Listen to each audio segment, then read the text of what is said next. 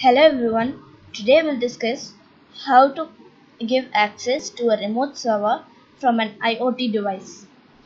So let's have a network with a server, a home gateway, a PC. It can be any end device. So let's have a PC. So now let's connect all these three devices so let's have a straight through cable to connect these both. And let's connect this through Wi-Fi.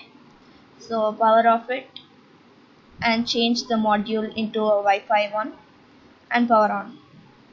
So go to config tab wireless 0 and change the SSID into home gateway.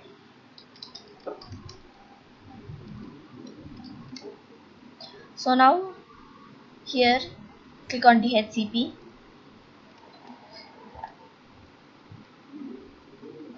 and we'll get an IP address here. Now so we have a connection between the home gateway and the PC now. So let's have some IoT devices like a lamp.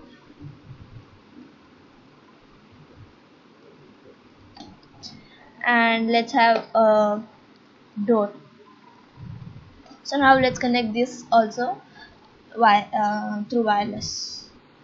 So give advanced IO config and change the network adapter has the wireless one.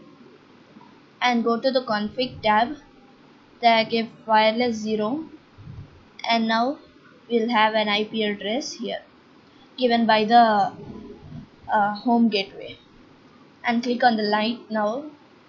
Click advanced go to IO config and change the network adapter as the wireless one and go to config tab wireless 0 and we have an IP address here also. So now the home gateway is connected to the server door light and the PC so now go to the server and click on services IoT and make sure this is on.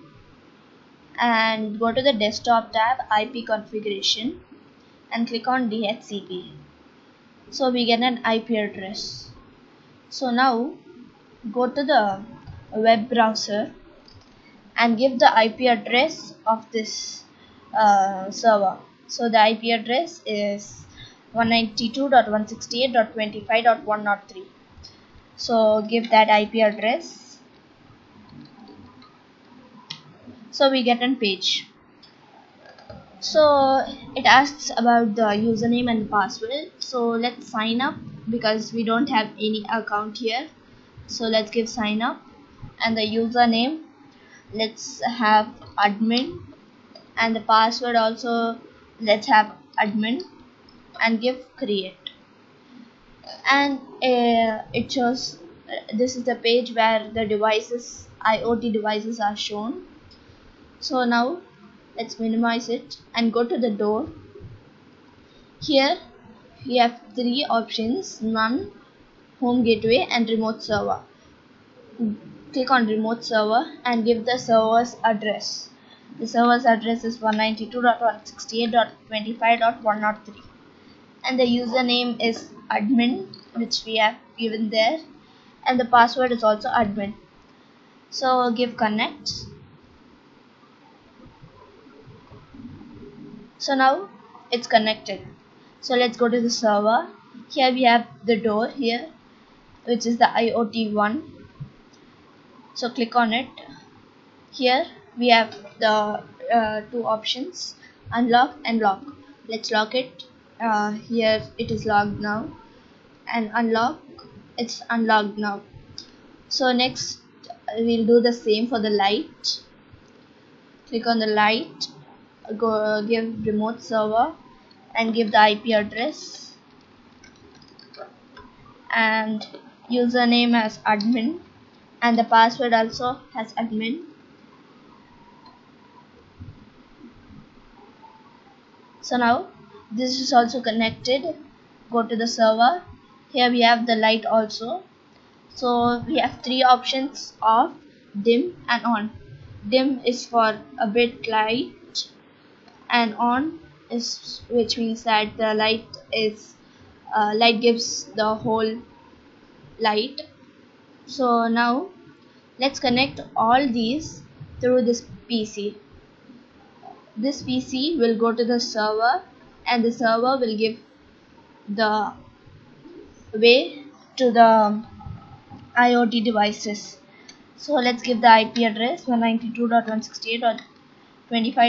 192.168.25.120.103 so we have uh, username and the password already so give admin and admin. So give sign in. We have two IoT devices the door and the light.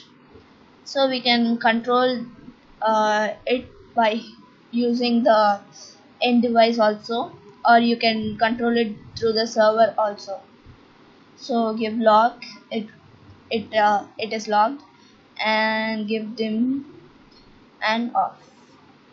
So we can uh, control it by using the server and also an end device. It can be any end device. Uh, we can keep um, even uh, a smartphone wireless tablet. Let's try it with a wireless tablet. So let's delete the PC and now let's have a wireless tablet. And now let's have a wireless connection between the home gateway and the uh, tablet. So I'll go to the config tab wireless 0 and change the SSID as home gateway. And now here um, click on DHCP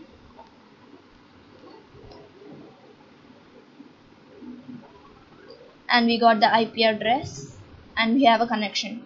So now let's go to the web browser and give the IP address. So again we have a username and password already. So now we get the door and light. If you want to see your username and password you can go to the IoT and here you can see the username and the password. So an IoT device can be controlled by an end device and also a server. Thank you